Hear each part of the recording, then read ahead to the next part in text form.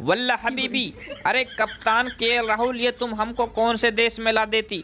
अरे हम तो सोचती कि जिम्बाब्वे कोई बहुत अच्छा देश होती, मज़ा आती, लेकिन ये क्या, ये तो सारा कबाड़ा कबाड़ा दिखती यहाँ। अरे शराज यार, तुमको यहाँ कोई धंधा थोड़ी खोलना है भैया? अरे तुमको मैच खेलना है भैया, मैच खेल के यहाँ से निकलना है। अरे हम भी यही सोच रहे थे पहले, लेकिन भैया हमारे साथ भी धोखा हो गया, इससे अच्छा तो धवन आ जाते यहाँ। चलो भैया, इससे बढ़िया ये है कि हमको यहाँ एशिया कप से पहले मैच खेलने को मिल गया। अभी देखो, कुछ ही देर बाद यहाँ पहला वनडे शुरू होने वाला है और सभी अपने बढ़िया से मेहनत के साथ भैया उतरो मैदान पर। और पेल दो।